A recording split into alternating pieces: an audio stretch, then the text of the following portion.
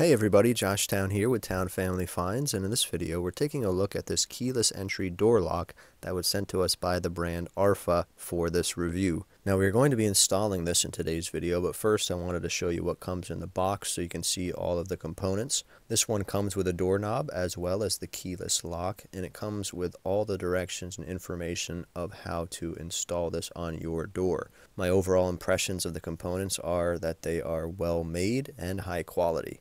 Just to quickly go over some of the functionality here, this will work on right-handed or left-handed doors. It is IP54 waterproof. You can put up to 100 different codes into this lock. It features an auto lock function.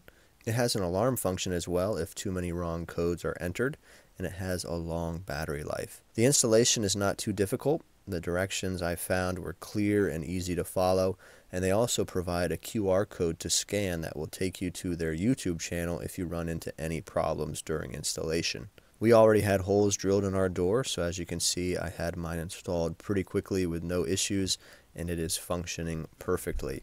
The keypad works great, and they also provide two standard keys to use as well.